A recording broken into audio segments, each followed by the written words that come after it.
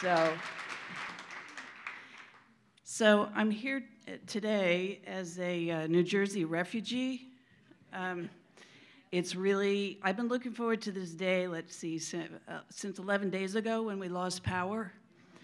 And uh, we got two feet of snow, and it's been about 25 degrees every night. So I'm really happy to be here.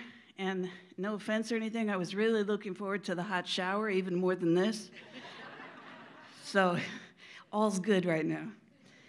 Anyway, and, and that's another reason I don't have a I don't have a slideshow for you. So it is what it is. I got to read. So sorry about that. Um, there are many reasons why I love this museum. And I grew up uh, a little bit in Europe, so I used to go to an awful lot of museums. I taught myself art history when I was in high school.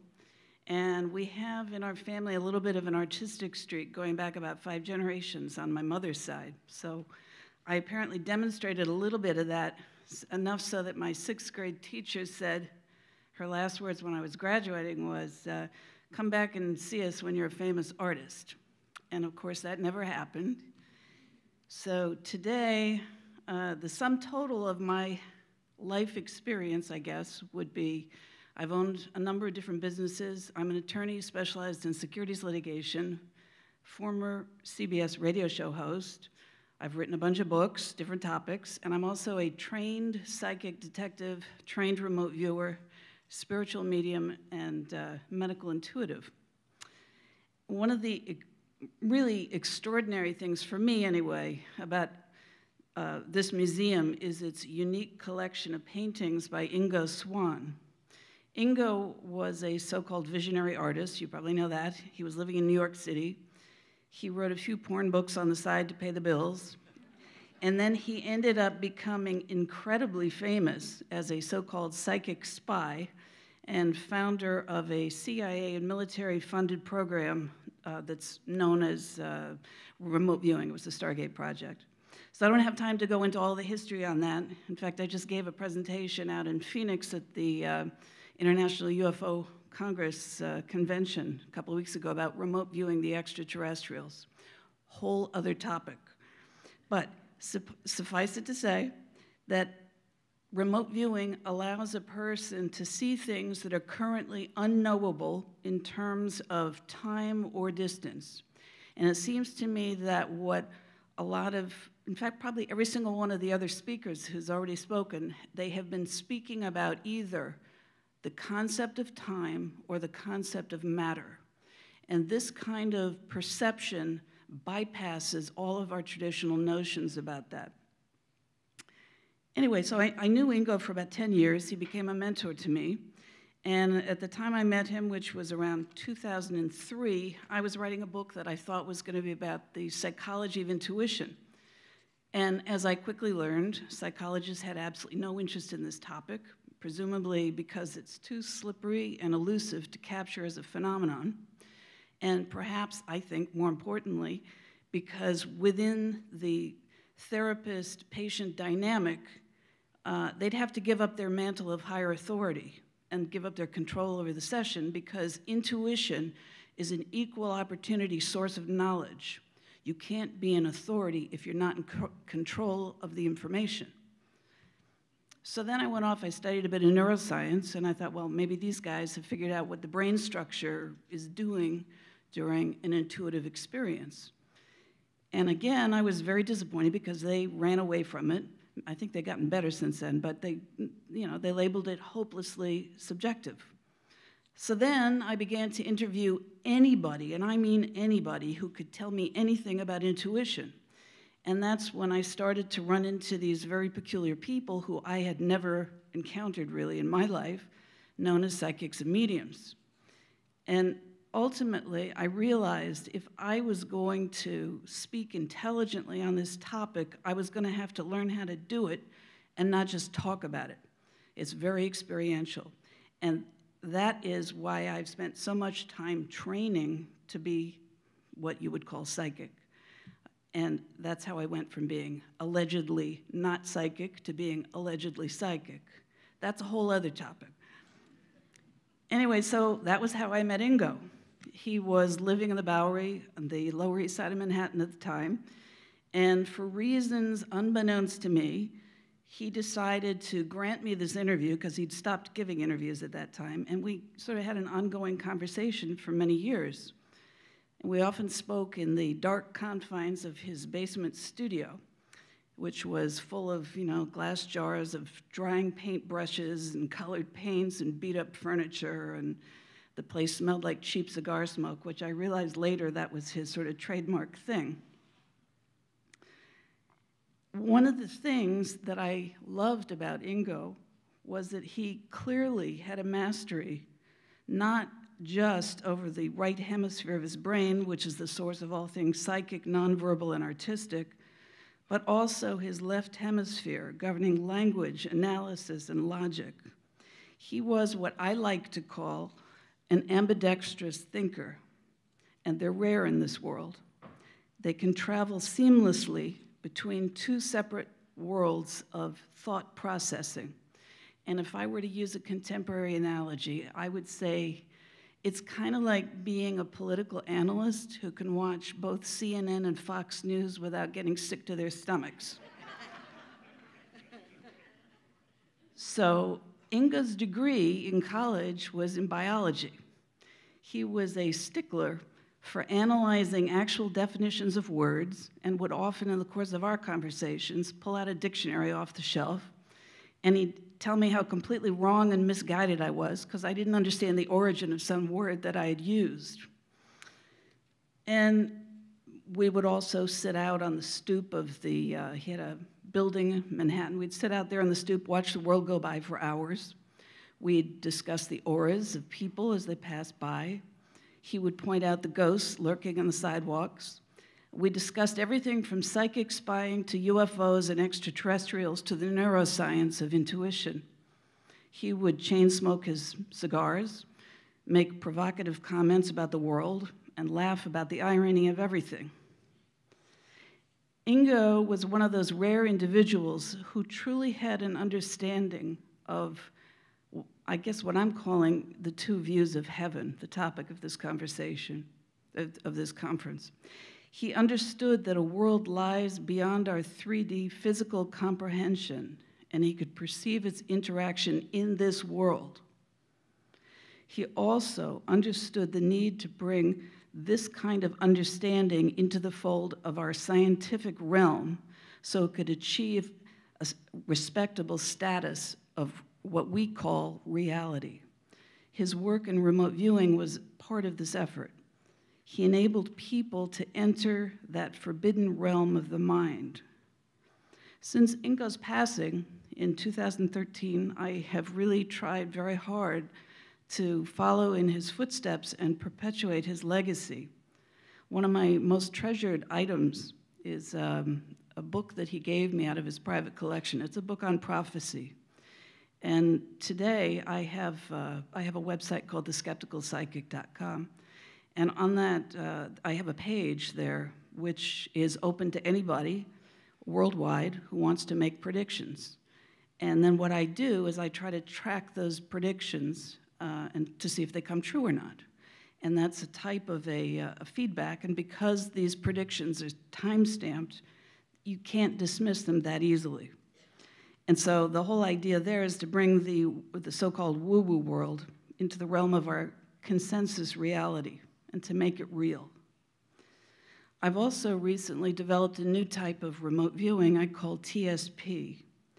It's quite different from controlled remote viewing, CRV, that was developed by Ingo and laser physicists Hal Puthoff and Russell Targ at the Stanford Research Institute back in 73. And although I've seen many people claim to have developed new types of remote viewing since then, my impression is that most of them uh, are really not much more than sort of permutations of, of CRV. They might change a little term here or the order of something, but they're fundamentally variations on Ingo's CRV. So I figured a half a century's gone by since CRV was first developed. It's probably about time to move that conversation forward a bit. So my style of remote viewing is a mix of CRV protocols, psychic and mediumship techniques, and skills used in intuitive Gestalt psychotherapy, in which I'm certified and I trained for about 20 years. So, in the time I have left, I, I want to tell you a personal story. So, I, I seem to find myself added onto these um, online groups and email threads with an awful lot of famous theoretical and quantum physicists and neuroscientists. I, am never quite sure what I'm doing there because I'm not a scientist. Um, I have a great appreciation for scientists. My, my father was a, uh, he was an internationally recognized medical scientist. So as a little girl, I, instead of going to an office, I would go to the laboratory and I would watch him do surgery on etherized rats, giants, giant frogs, dogs, cats, sheep, and monkeys. Nobody in my family was psychic. They were very intellectual and academic. They thought psychiatrists were nuts, which doesn't leave too much room for psychics. So, so after I, I had been reading these various posts for a long time by these very illustrious scientists, and of course, I can only understand about half of what they're saying, if that, because it's a lot of mathematical stuff. But anyway, one day they were discussing possible ways to analyze, because they were talking about consciousness, ways to scientifically approach consciousness. So they're talking about out of body experiences, known as OBEs, in terms of quantum mechanics. And they mentioned Ingo's research in this field.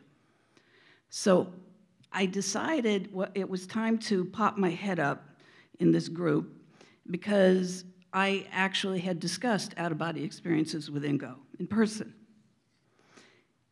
And I had done that because I had told Ingo about a dream I'd had. And the, in this dream, I was visiting him in Manhattan. And I, have been a lucid dreamer since I was a little kid. And uh, I also fly around a lot in my dreams. And actually, I read a long time ago that if you fly in your dreams, it's a sign of sexual immaturity. So I'm, I'm hoping that since I continue to fly around a lot in my dreams, that maybe that's an archaic concept from old Freudian psychology. Uh, at any rate, so I was flying into New York City to see Ingo. And there were a lot of tall skyscrapers, and I'm flying right through them. I'm flying through the, the walls and the, the ceilings and the brick and everything. And I thought it was a little peculiar. So, since I was never really sure what people meant when they talk about an OBE, out of body experience, I asked him, I mean, did, does this constitute a true OBE? And he said yes. And that put a whole new spin on the potential for this type of dreaming. So I mentioned this to this group of scientists. I, I raised a certain degree of mayhem and disrupted the scientific discourse I was told initially that I was engaging in some form of delusion of grandeur after I described my concept of being able to access any location in time or space using remote viewing techniques. But I continued to battle my way through this hornet's nest of academic science. And finally, this was the good part, one by one, I began to hear their personal stories of the weird and unexplained and it was thrilling. It was like I had finally unlocked the padlock to the scientific mind, or at least I had created a tiny opening for the possibility that there might be some legitimate basis for the exploration of these concepts. And as I mentioned, it's very important when, to have your own experience in these realms in order to accept the possibility that they might even be real or to speak about it intelligently. And since most people are polarized in their belief systems and cannot integrate the two views of heaven, they have no interest in exploring something which in their world does not exist. So, all of this talk about OBEs must have stuck in my brain. So, roughly a week and a half ago, I had another lucid dream. And of course, I was flying again. I don't recall what the dream was about. I only remember that at the end of the dream, I was flying and I was approaching this solid concrete wall. And beyond that one, there was another wall, I think was made out of brick or glass or something. And so I was getting ready to, you know, I was thinking about flapping my arms harder to get some lift to get over the top of the wall. And then I said, well, wait a second. Wouldn't it be interesting to go back and test that OBE dream that I told Ingo about years ago? So I consciously decided in my dream to fly headfirst into the series of these walls and to register the physical sensation of what it felt like. And the experience was very interesting. And by the way, did you know that in French, I'm, my husband is French and I'm now French, the word experience, like experience, is the, it means experiment. I was able to transfer my body through these solid walls effortlessly. I felt my body turn into a mass of particles. It was slightly dizzying, it felt like a buzzing sensation. And I also experienced a drop in temperature, a sensation of coolness that was very striking. Between each wall, my body seemed to reassemble itself back into a single entity. Now, I might use the analogy of the field of cymatics. I don't know if you guys know about cymatics, but that's uh, in, in cymatics. You generally you have a plate or a surface or a membrane. You cover it with some particles, little particles, or, or some type of liquid, and then you run a frequency through it, so it vibrates to that frequency. And for each different frequency, you get like a different kaleidoscopic type of a pattern. So it occurred to me that I wouldn't be surprised that if we can dematerialize our physical body by tuning ourselves to different frequencies, then we can retune ourselves to our original frequency to reconstitute the original physical body. Whatever the case may be, what I was clearly doing was running a scientific experiment about consciousness while in another state of consciousness. And wouldn't it be interesting to find out whether this information has any correlates in the world of physical science? Wouldn't that be extraordinary to learn that we can actually rearrange physical matter by using our minds? So again, in one of those well, synchronicities, I have an awful lot of those. Two days after writing this, this uh, theoretical physicist sends me an 88 re report, 88 page report, and uh, the report is entitled Teleportation Physics Study. It was commissioned in 2003 or thereabouts by the Air Force Research Laboratory of the Air Force Materiel Command at Edwards Air Force Base. And it was absolutely fascinating because it addresses several different theoretical models to explain the phenomenon of teleportation. And again, I couldn't understand half of it because it's in mathematical equations, but that's okay. I still fight my way through these things. Um, it interestingly talked about tests that were being conducted, now this is already a while ago, by the Chinese government, showing that gifted psychic children can teleport both living and non living things, like insects, in double blind studies. And the report postulates several different explanations for this phenomenon, including wormholes, multiple dimensions, parallel universes, quantum entanglement, and spatial geometry. American scientists have been able to teleport a laser beam containing a radio signal inside of it. The radio signal survived, but the laser beam did not. And quantum physicists have suggested that teleported photon states must travel at 10 to the seventh times the speed of light in order to cause entanglement.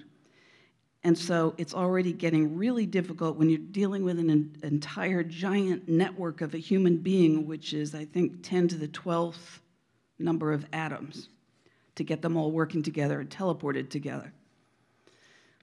Um, interestingly, the report stated that one of the current problems with quantum teleportation is trying to figure, quote, how we can achieve an extreme level of environmental isolation for an object, let alone a living being that breathes air and radiates heat, end quote.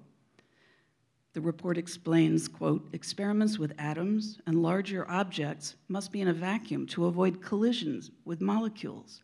Thermal radiation from the walls of a teleportation apparatus would easily disturb a tiny amount of matter. At present, decoherence imposes a fundamental limit on quantum entanglement and teleportation, end quote. And so, so suddenly, made sense to me why I dreamt that experience, that sensation of coldness while teleporting in my dream. It's because we can't radiate heat while teleporting. It would, it would screw it up. It, it disturbs the quantum process. And then another thing occurred to me that over the years, many UFO abductees claim that during their abduction scenarios, they often experience the sensation not only of being paralyzed, but they're then floated up into the air, and many of them experience their bodies passing through walls and ceilings and windows and things like that. I've spoken to several people who've described that kind of experience to me in detail. And if you study these abduction scenarios, it becomes clear that aliens or extraterrestrials are able to demonstrate some very sophisticated mental powers and mind control techniques. This has only confirmed my belief that there is a relationship between consciousness, intention, and physical matter. The ability to deconstruct the human body or objects in our environment to cause matter from one entity to penetrate matter from a different entity, living or non living, is not science fiction, it's real. So let me give you one more example, and this one involves metal bending. So last October, I attended a remote viewing conference in Las Vegas. And towards the end of the conference, the organizer, who's a physicist, and there were about 20, of, 20 attendees or so, we're all there, uh, he says, okay, we're, we're going to do, uh, I want you all to use your mental powers to bend spoons. Spoon bending is not new. It was made famous by Uri Geller, uh, who also was in the remote viewing program same time as Ingo was. Many thousands of people are able to do this with only either mild physical effort or no, none at all. I only recently figured out how to do this. So the organizer dumps out a big pile of cutlery, you know, forks, spoons, knives, all kinds of stuff on, on the coffee table.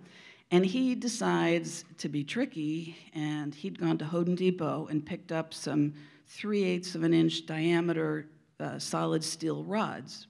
They were about about that long.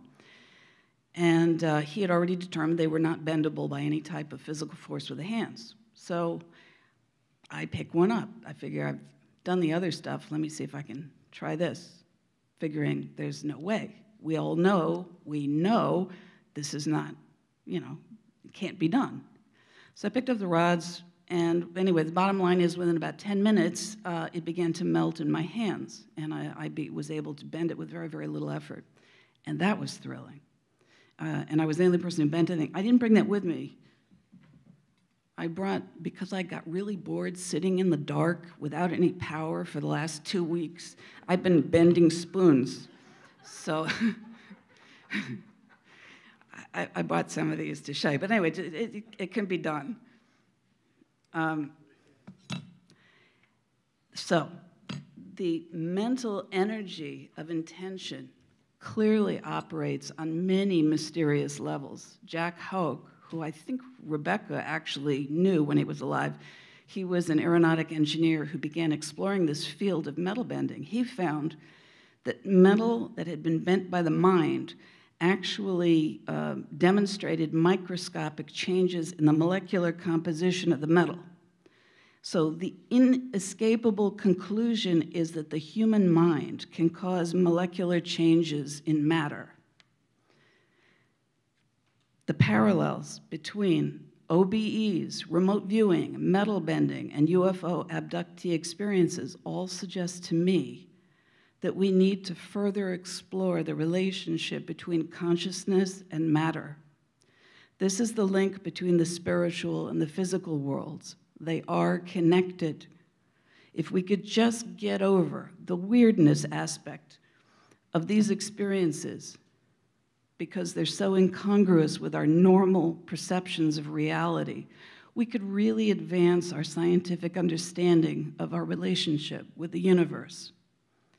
And this all goes back to the concept that we are literally, not just figuratively, connected and interrelated and once we understand this, then absolutely nothing, nothing is impossible.